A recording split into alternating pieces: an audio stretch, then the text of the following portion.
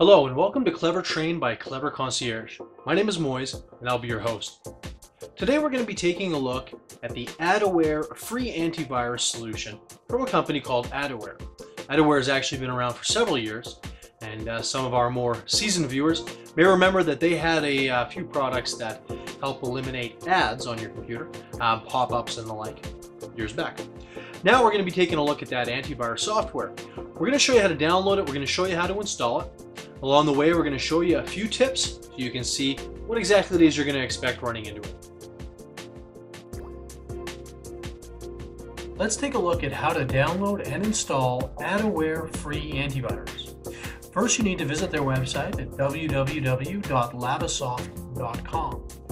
At this point, it's pretty easy to find. There are only three options to download, free, personal, and pro.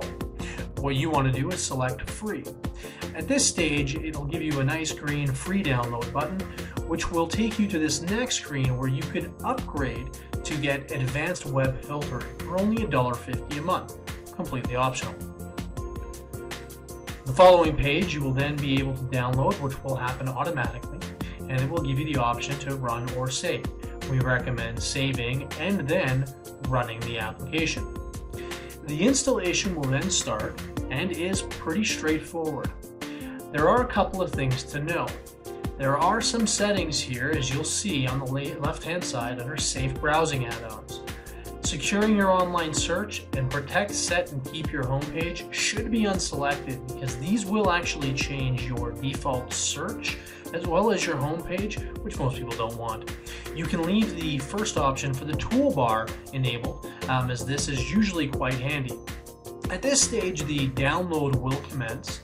Um, and it is pretty fast. It uh, does everything on the fly. And then it will go ahead and process the actual installation.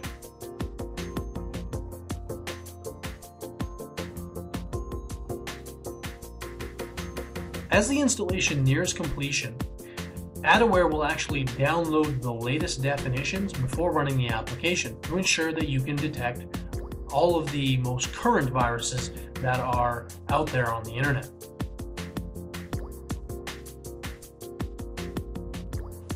When the installation finally is completed, you'll see there's a finish option in the bottom right hand corner.